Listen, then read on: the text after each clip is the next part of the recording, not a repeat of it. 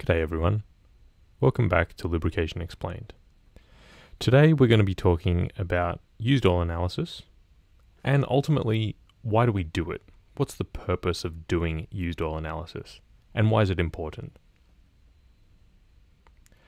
So as I've covered in a previous video, uh, something like 23% of all of the world's energy goes into overcoming what we call tribological contacts. It's effectively friction. The bit that we're really interested in here is the 3% that goes into remanufacturing worn parts. So this is what used oil analysis can help us avoid. What we're trying to do is mitigate those losses because they have huge impacts on companies' bottom lines as well as on the environment, greenhouse gas emissions, etc. And if you remember, that was a study that was done in 2017 in the journal Friction. So, how should we think of oil analysis? Well, I think something that everyone can maybe appreciate is the idea of going to a doctor for a checkup. They might take a blood sample, and that's used to assess your kind of overall health. So, when they take the blood sample, they're not just measuring a single marker. They might be measuring, for example, cholesterol, both good and bad. They might be measuring blood sugar, a whole variety of different measurements. And these will help your doctor identify maybe some conditions or underlying conditions that we can treat even before the symptoms become very severe. Think of oil analysis exactly the same way. It's like a blood sample, but for your machinery. What it's going to help us to do is assess the oil of, uh, sorry, the health of your operation. In a similar way to the way that we think about blood testing, you have to think of used oil analysis as being conducted kind of in a wider context. So if you take one blood sample, that is moderately useful and the information is of some value. But really, it comes into its own when you've been taking samples, let's say once every three months, over an extended period of time. Maybe you can trend the data over the last five years to see if maybe your cholesterol is improving. Uh, if it is getting worse, then we would suggest maybe an exercise regime or some medication. In the same way, we can use used oil analysis to inform maintenance decisions. So if we see wear starting to accelerate, as an example, we might uh, encourage some kind of intervention. Maybe we change our maintenance practices. So we really want to use used oil analysis to inform our maintenance practices, but it can't be used alone, right? This is not a panacea. It needs to be an essential part of a preventative maintenance program that incorporates a whole bunch of other measures. So when we talk about uh, used oil analysis, it's helpful to understand this idea of the P to F curve. If you've not come across it before, here's a quick primer. So what we're trying to avoid is some kind of failure, and we'll call that F. And as we work backwards, what we're trying to do is, you know, relate every failure to the initiation of the problem. We're trying to kind of backtrack to where it all started. Probably one of the easier ones to understand might be a, a bearing failure because most people will be familiar with that.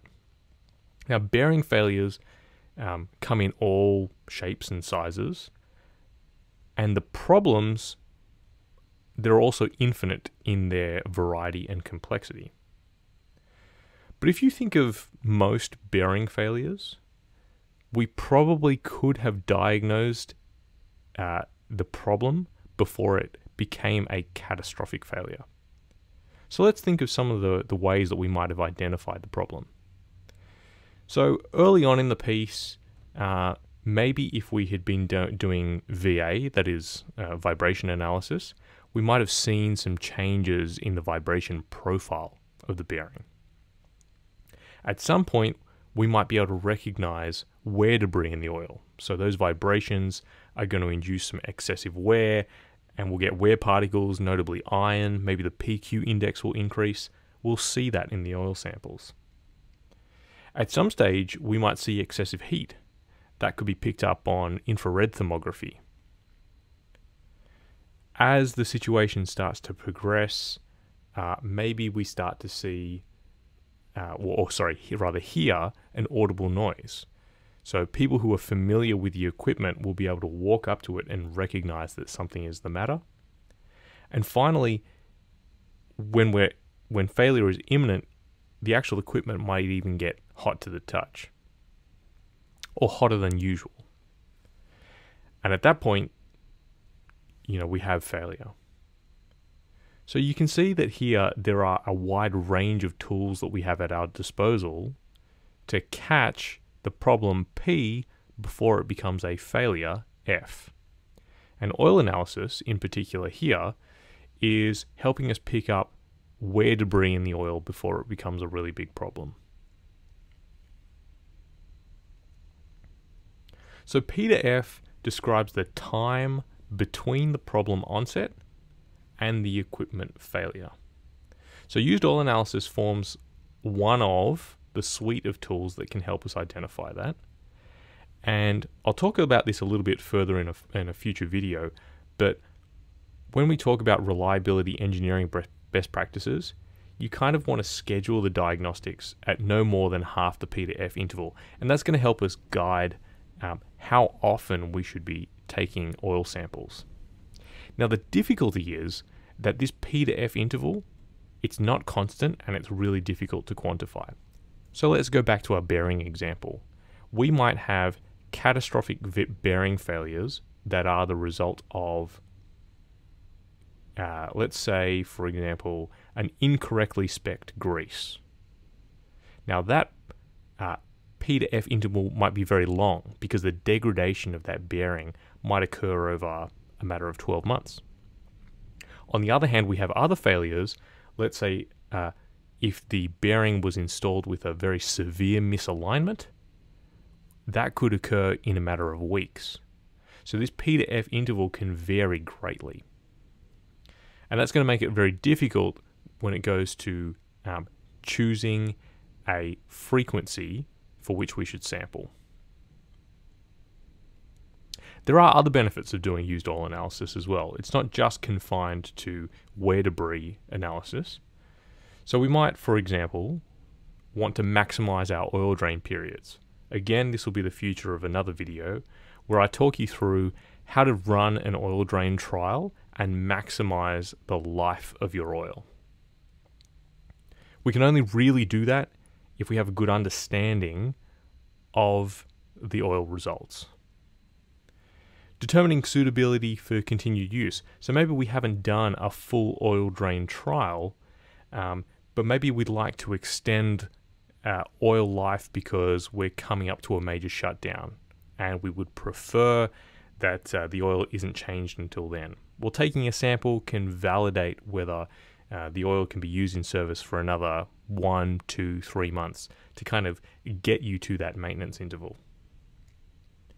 It also helps us evaluate equipment condition. Again, this will be the future of uh, subject of future videos, but by looking at the, in particular, ICP metals, we can get a really good idea for how the equipment is performing.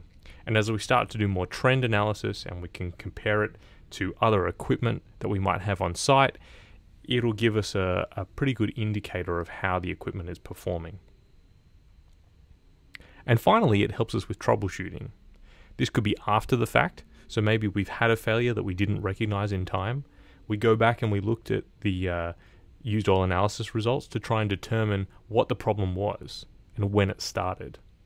Alternatively, we might be having some trouble uh, with a bit of equipment and we are trying to identify the root cause of the problem. And again, used oil analysis can uh, often help point us in the right direction. So, as you can see, uh, there are lots of reasons why we should do used oil analysis. Um, I would say that the, the sites that I go to, the quality of used oil analysis uh, and the way that it's conducted on site uh, does leave rooms for, for some improvement. And so, as we go along with future videos, I'd like to explore ways that we can really uh, maximize the value of our used oil analysis programs. thanks so much for listening to this really short video. I hope you got a little bit out of it. This has been Lubrication Explained.